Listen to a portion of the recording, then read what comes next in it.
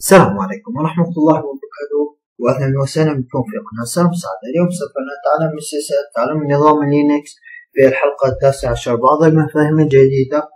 وسوف نقوم أيضا في مراجعة المفاهيم الحلقة الثامنة عشر. وأيضا نتعلم في هذه الحلقة بعض الأوامر الجديدة وهي تقريبا أربعة أوامر سوف نقوم ببدء في مقدمة جميلة. اليوتيوب يساعدنا على عرض المهارات التي لدينا. والآن سوف نقوم بطرح ملاحظة أو نصيحة لكل من يشاهد الفيديو. تعلم من أي مصدر ولو يكن إعادة لأن في الإعادة إفادة. وأيضا تتعلم طريقة جديدة لاستخدام الأمر في التيرمينال أو في لينكس أو Command Line Interface. الآن نتعلم بعض المفاهيم لدينا ال command الأمر وال option المهمة وال argument والملحق أو ال folder المستهدف. وثم لدينا بعض الرموز tilde التي تدل على slash أو slash user وثم لدينا hyphen single hyphen و double hyphen التي تستخدم في ال option وثم لدينا slash وثم لدينا single و double و back quote أيضا قمنا بشرحهم في الحلقات السابقة. وثم لدينا asterisk هي التي سوف نقوم بشرحها في هذه المحاضرة. وثم لدينا backslash هي التي قمنا أيضا بشرحها في الحلقات السابقة. وثم لدينا semicolon الفاصلة المنقوطة وقمنا بشرحها في الحلقات السابقة. و period النقطة أو الدوت.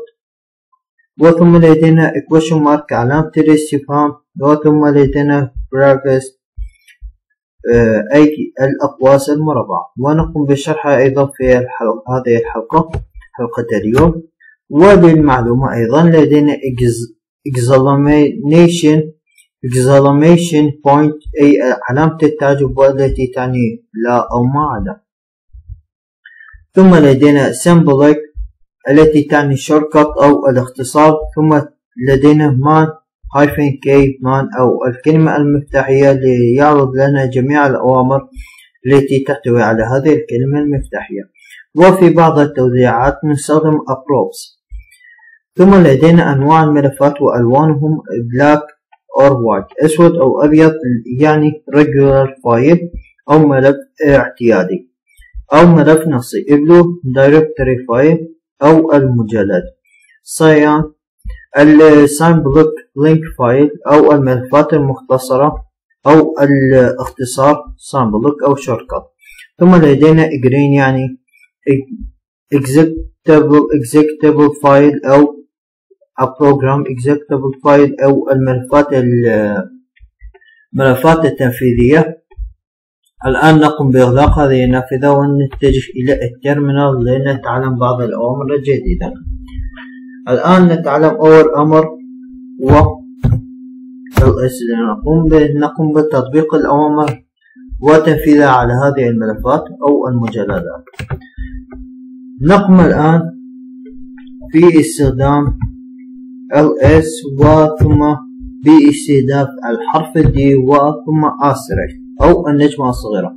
والثاني النجمة الصغيرة باتباع جميع الأحرف التي بعد دي أو جميع الأحرف أو أي حرف يبدأ يبدأ الحروف بدي وينتهي لا نعلم بما هي الحروف. نقوم باتباع دي يقول لن أجد ما هو الملف لأن d صغيرة وهنا نظام لينكس حساس من ناحية الحروف. نقوم باستخدام D كبيرة أو D كبيرة يقوم بطباعة جميع الحروف هنا desktop قام بطباعة ما يحتوي على desktop و document ما يحتوي ال document و download هنا لم نقم بتحديد الحروف. قام بطباعة أي أحرف ولكن فقط يبدأ بحرف دي كبير. هنا لاستخدام الأمر بالشكل الطبيعي ونقوم فقط بطباعة ما يحتويه فقط نقوم باستخدام إيكو بشكل اعتيادي. إيكو وثم هنا نستطيع من استخدام ال dot وال slash وثم نقوم بتحديد الملف مثلا الملف يبدأ ب D capital. ولا نعلم ما هي النهاية ولا نعلم الحروف المتبقية نقوم بالنقر على enter كما تشاهدون هنا أيضا نستطيع من استبدال ال dot أو النقطة في tilde وهنا يقوم بطباعة المسار هم سرمساد document هم سرمساد document وهم سرمساد desktop هم سرمساد download و desktop هنا أيضا نستطيع من تحديد حرف البداية وحرف النهاية ولا نعلم ما هو الحرف الوسط. يقوم بإخراجه. الآن كما تشاهدون document وال download ينتهي بحرف s. وأيضا نستطيع من تحديد حرف النهاية فقط. نقوم بالرجوع وحذف D الآن قام بطباعة جميع الأوامر وجميع المجلدات التي تنتهي بحرف اسم الآن نذهب إلى الأمر الثاني وهو لنبقي علامة التلضة نذهب إلى الأمر الثاني وهو علامة الاستفهام أو question mark. نعلم بداية أولا نقوم بعمل كلير ليتضح الأمر أكثر. الآن نعلم بداية الملف. مثلا M ولا نعلم ما هي الحرفين المتبقية ونعلم عدد الحروف. ثلاثة حروف. نقوم بوضع علامة الاستفهام مرتين وهنا يطبع MNH كما تشاهدون هذا الملف. الآن نعلم الحرف البداية والنهاية ولا نعلم مع الحرف في الوسط. الآن MNH الآن لا نعلم ما الأحرف في البداية أيضا. ومن بطباعتهم هنا الفرق بين الأسرك تقوم بطباعة جميع الحروف التي لا نعلمها وهنا علامة الاستفهام نقوم بتحديد عدد الحروف أيضا. نقوم باستخدام clear نقوم بالذهاب إلى الأمر الأخير وهو أو الأمر الرمز الأخير وهو البراكس أو الأقواس المربعة. نقوم بتحديد الأمر A D وثم نقوم بغلق البراكت ثم إنتر. الآن كما تشاهدون قاموا بطباعة المسار وأي ودي لماذا؟ وما هو الخطأ؟ لأن لم نضع الأسرك أن يقوم بطباعة أي حرف. يحتوي على A و D. الآن قاموا بطباعة A E W. لم يطبع الديسكتوب والدوكيمنت وإلى آخره. لماذا؟ لأن اللينكس حساس من ناحية الحروف. نقوم بوضع أي دي كالضم ويجب الآن بطباعة جميع الأوامر وجميع الملفات الآن قاموا بطباعتهم. ولكن أحيانا نقع في هذا الخطأ يجب أن أحيانا يكون هذا الأمر خطأ نقوم بوضع جميع الأحرف كالضغط وثم أرسل كما تشاهدون الآن تجاهل الحرف هنا أي إي دبليو لكي لا نقع في الخطأ أحيانا.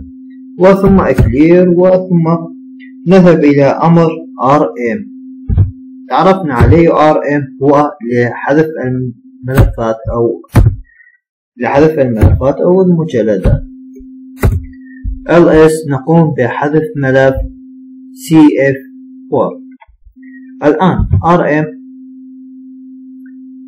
للملاحظة أي قبل الحذف للملف نستطيع أيضا من استخدام إيكو وثم تحديد عدد الحروف تبدأ من A إلى D.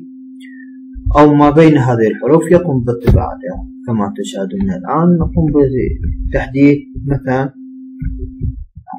بتحديد مثلا M و B مثلا. يقوم بطباعة الملفات التي تبدأ من B إلى M.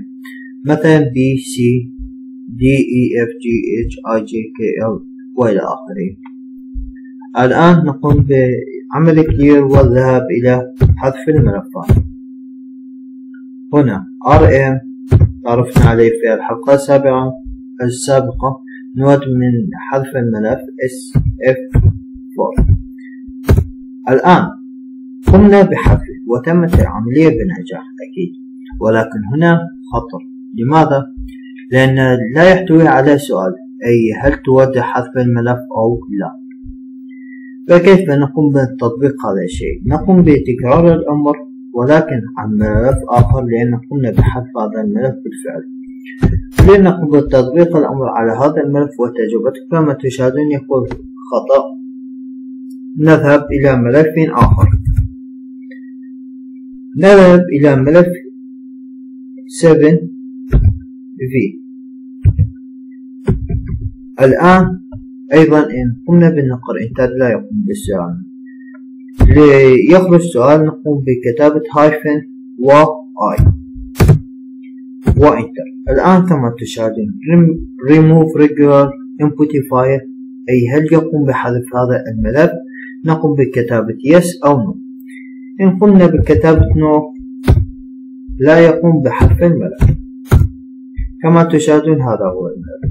نقوم بتكرار الأمر ونقوم بكتابة yes أو فقط y وأنا الآن ls قام بحذف الملف وإن رغبنا بحذف أكثر من ملف نقوم باستخدام rm مثلا 0 1 و mnh هذا الملفات التي سوف نقوم بحذفها. هنا نقوم بإعطاء y على ملف صفر والواحد نقوم بإعطاء n والm n h نقوم بإعطاء yes الآن ls يجد ملف واحد موجود أول كما تشاهدون الآن. الآن فقط نتعرف عن الملاحظة الأخيرة لنقوم بطباعة الأرقام جميعها عبر أستريك نقوم بتحديد الأرقام مثلا تبدأ من ثلاثة إلى تسعة. يقوم بطباعة فقط الستة. لماذا؟ الآن لأن لم نقم بتحديد رقم الواحد واحد إلى تسعة وهو بطباعة الواحد والستة أيضا. لم يقم بطباعة هذه الأرقام لأن هنا تبدأ بحروف. لنقم بالتحديد أسرش هنا. الآن كما تشاهدون قاموا بطباعتهم جميعا التي يحتوي على أرقام ويبدأ بحروف أيضا. ومع السلامة ونتمنى لكم الاستفادة ونحب أن ننهي الفيديو في هذا في النهاية نحب أن ننوه بأن ليس من تعلم اللينكس تعني تعلمه الاختراع.